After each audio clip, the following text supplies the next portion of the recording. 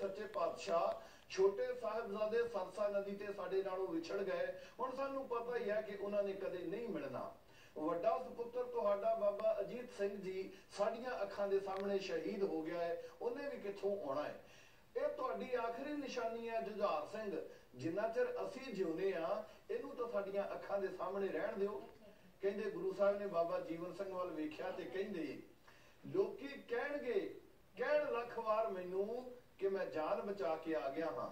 ਇਹਨਾਂ ਮਿਹਣਿਆਂ ਵਿੱਚੋਂ ਵੀ ਮਾਣ ਮਿਲਦਾ ਕਿ ਮੈਂ ਪੁੱਤ ਮਰਵਾ ਕੇ ਆ ਗਿਆ ਹਾਂ। ਮੈਨੂੰ ਜ਼ਰਾ ਪਰਵਾਹ ਨਹੀਂ ਜੱਗ ਸਾਰਾ, ਮੈਨੂੰ ਲੱਖ ਵਾਰੀ ਰਣ ਦਾ ਚੋਰ ਸਮਝੇ, ਪਰ ਮੈਂ ਇਹ ਨਾ ਸੁਣਾ, ਗੋਬਿੰਦ ਸਿੰਘ ਨੇ ਸਿੰਘ ਹੋਰ ਸਮਝੇ ਤੇ ਪੁੱਤਰ ਹੋਰ ਸਮਝੇ। ਬਾਬਾ ਜੀਵਨ ਸਿੰਘ ਜੀ, ਇਹਨਾਂ ਨੂੰ ਜਾ ਲੈਣ ਦਿਓ।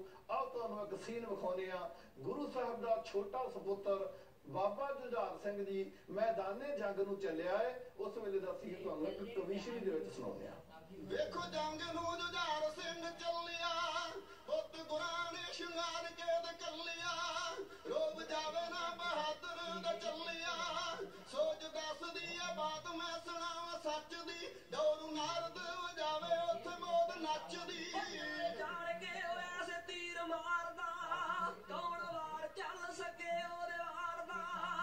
Chiparida.